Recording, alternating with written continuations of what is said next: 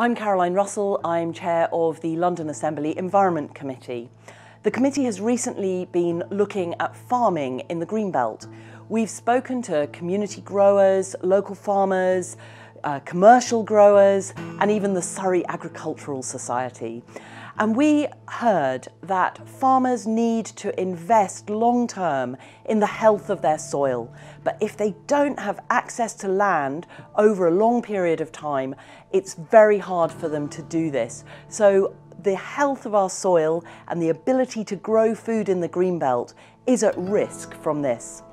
We also heard about the other risks to the greenbelt from development and from climate change.